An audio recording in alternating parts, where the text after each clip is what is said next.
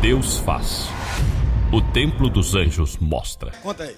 Há cinco anos atrás, que eu estou fazendo tratamento com mastologista e dois nódulos no seio. Um tinha crescido e ele falou o seguinte, que tinha que fazer controle a cada seis meses com ultrassonografia.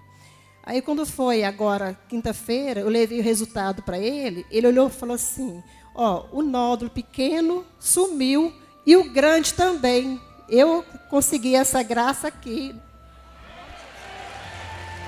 Levanta a mão assim, ele é maravilhoso.